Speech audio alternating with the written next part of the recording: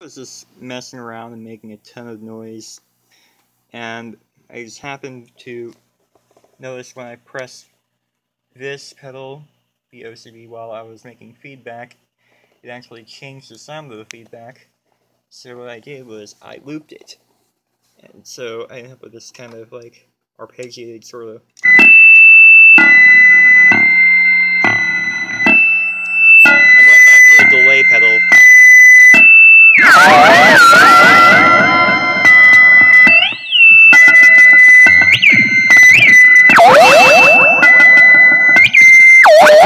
Ah!